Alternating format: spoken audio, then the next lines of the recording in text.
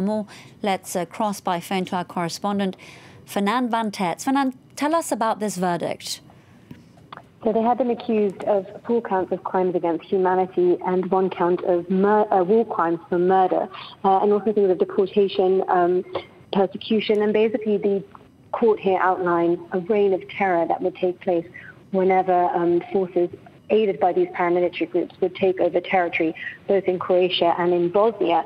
Um, and the court did say that they outlined this criminal enterprise, as they call it, that there was this systematic campaign of murder and persecution and forcible displacement targeting non-Serbs in Croatia and Bosnia and Herzegovina during this period between 1991 and 1995.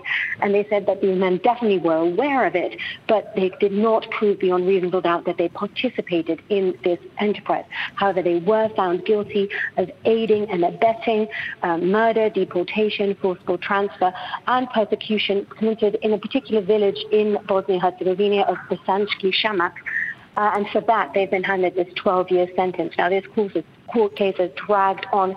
It's a complete retrial of a case that started back in 2003.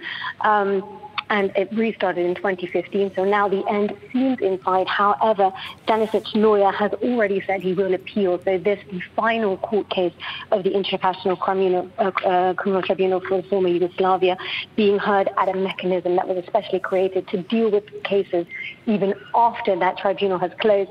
We'll still not see the end. They have appealed, so we'll have to wait to see what happens next. Fernande Van with that update for us.